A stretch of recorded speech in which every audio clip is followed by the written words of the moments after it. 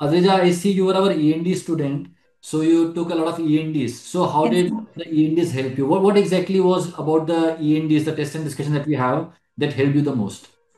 Sir, I used to enjoy watching E&Ds and giving the E&Ds, and then uh, so after every video that came up after the E&Ds, uh, it used to point out where I was going wrong and the topics that I needed to focus on.